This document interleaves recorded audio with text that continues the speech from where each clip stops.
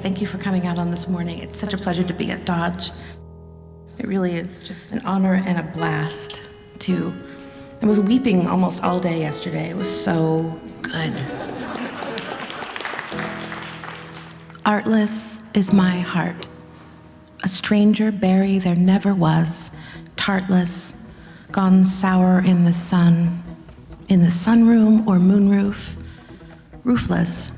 For Brenda Shaughnessy, poetry is a deeply personal exploration of what she calls the real stuff of life.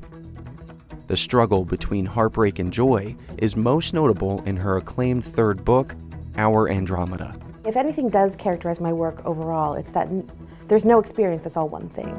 You know, it's not, there's not just sadness that overtakes you and there's no moment of joy. There's never just joy within, you know, without any kind of critical central vein of despair. You know, Brenda is also an associate professor at Rutgers Newark. And it's this approach of working with the real stuff in life that she brings to the classroom. Just about to happenness that actually makes me more dizzy than, than the actual description of it. What? I have these sort of very condensed five tips. Like I give them to my students because I've learned that I need them myself. So these are Brenda's practical, helpful tips on writing poetry. Number one, it doesn't write itself. I have the whole thing up here. You think, that's a great idea for a poem, but the poem isn't an idea. The poem is a physical action. You have to do this or this, or there's no poem. Two, you know more than you know. Trust your history and your scary truths, even if you don't have a reliable version of them.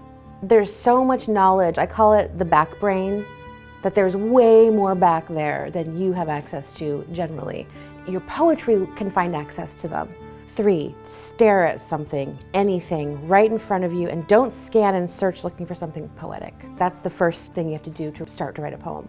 It's a great exercise because it forces you to defamiliarize what you see every day.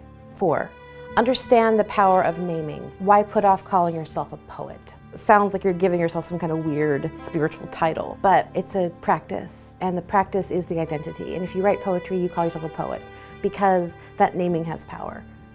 Number five, if you are frightened of a subject or something you've written, it just might be the very thing you must write.